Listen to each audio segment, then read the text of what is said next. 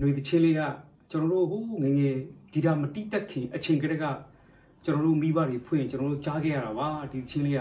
အရန်ကိုကောင်းပါတယ်လုံးဝမထင်မှတ်ထားပါဘူးဒီကျွန်တော်တို့ဒီဘဝမှာပေါ့နော်ကျွန်တော်တို့အရှိမဦးထီဆိုင်ဆိုင်ပေါ့နော်နောက်ဦးဆိုင်မောင်းဆိုင်ဆိုင်မောင်းပေါ့သူတို့နှစ်ယောက်တချင်းတွေလည်းအဲ့လိုပဲဂီတာမတိတက်ခင်အချိန်ကတည်းကမိဘတွေအိမ်မှာဖွင့်တာကြားခဲ့ရတာပေါ့နော်အဲ ကြားခဲ့ရတယ်ဘတ်စကားတွေပေါ်မှာဖွင့်တာတွေကြားခဲ့ဘူးတာပေါ့နော်သူတို့တချင်းတွေနောက်ဒီဆိုဟိုကြီးတွေနဲ့ဒီလိုမျိုးတီးပြန်တီးရလိမ့်မယ်လို့လုံးဝကျွန်တော်မမျှော်ကလေးခဲ့ပါဘူးအဲ့ဒီဟာမမရရပါတော့အဲ့ဒီဦးထီနဲ့ဦးဆိုင်မောင်း live show လေးကကျွန်တော်တို့2005ခုနှစ်က Strand Hotel မှာတီးခဲ့တဲ့ဒီ live ပေါ့နော် Unplugged live လေးပေါ့အခုဒီဥဗီတာကကျွန်တော်2000 2017မှာကျွန်တော်တို့ MICT Park ထဲမှာတီးခဲ့ကြတာပါမမရရရှိတာဆိုလို့ပြောပြရရင်ကျွန်တော်တို့နေ့လေခင်းကျွန်တော်တို့စက်တွေချိန်နေချိန်နေရွာစေလုတ်တယ်ညနေကျတော့မတီးခင်မိုးကရွာချပလိုက်ရောရွာချပလိုက်တော့မိုးကတဲလာတဲ့အတွက်ကျွန်တော်တို့အကုန်လုံးစက်တွေကိုအကုန်လုံးရွှေ့ရတာပါ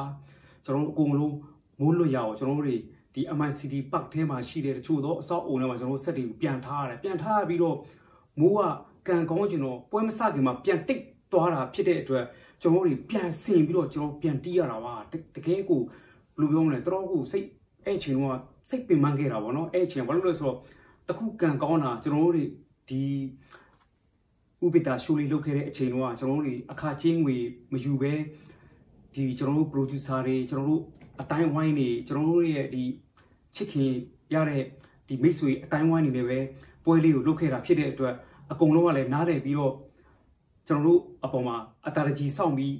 စောင့်ပေးပြီးကြည့်ရှုသွားကြတာပေါ့နော်အဲဆက်တွေကတော့အဲ့ဒီအချိန်တော့ကျွန်တော်တို့တီးတဲ့တီးခဲ့တဲ့အချိန်မှာ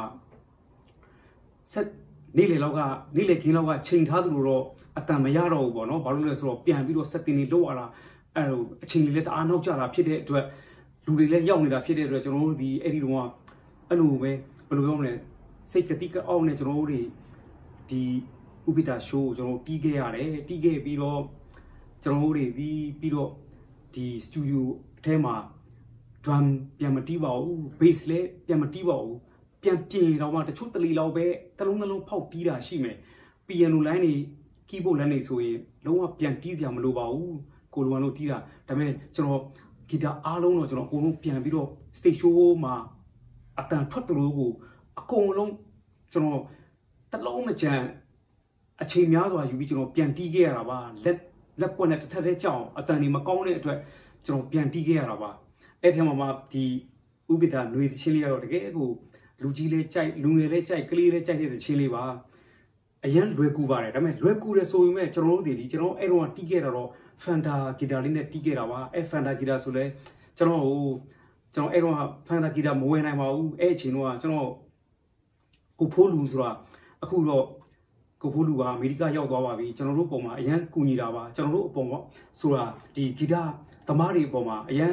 ကျင်လာတဲ့လူပေါ့နော်သူ့မှာဂီတာအကောင်းတွေအများကြီးရှိတယ်ကျွန်တော်တို့ကိုလိုအပ်လိုအပ်တယ်လို့အချိန်မီလာတီးလာယူတီး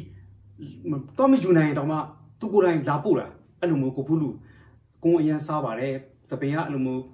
ကရုံးပုံစံနဲ့ကျွန်တော်တို့တော့အတန်နဲ့ကြီးတာပေါ့နော်အရန်စိတ်ကောင်းရှိတဲ့ကိုဖိုးလူကဟိုကျွန်တော်အခုချိန်မှာဒီချင်းလေးတီးတဲ့ချိန်မှာအကုန်လုံးကျွန်တော် ပြန်ပြေးပြီးမြင်တဲ့လူတွေအကြောင်းပြောပြတာပါအဓိကတော့ကျွန်တော်ဂီတာဒီပေးတီးတဲ့ကိုဖိုးလူကြီးပေါ့နော်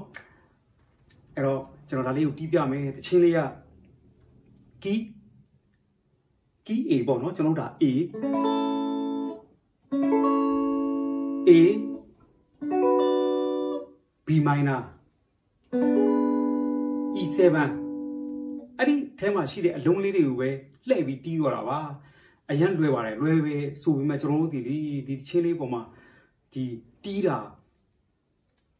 စိတ်ဟိုစိတ်ကိုတချင်းနဲ့တသားတဲ့ကြောင်ကျွန်တော်နှစ်ရပါတယ်နှစ်ရတာဖြစ်တဲ့အတွက်ကျွန်တော်တို့ဒီဒီ touch ကိုတီးကျင်တဲ့တီးလို့မရပါဘူးတချင်းလေးကိုတချင်းလေးပုံမှာပဲမူတီးပြီးတော့အလုံးလေးတွေကိုတက်နိုင်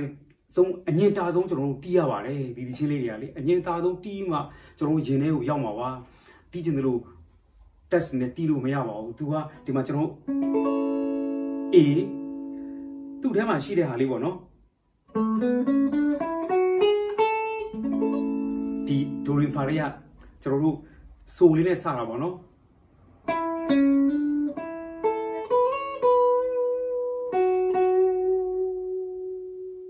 ရှစ်ကလေးတွေလည်းလောက်ရပါတယ်ကျွန်တော်တို့ဒီမှာနော်ဆိုမီဖာဆို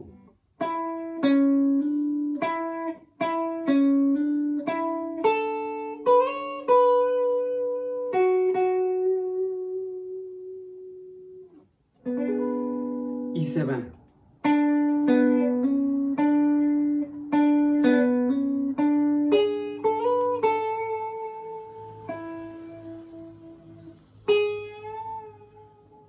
လေးပေါ့နော်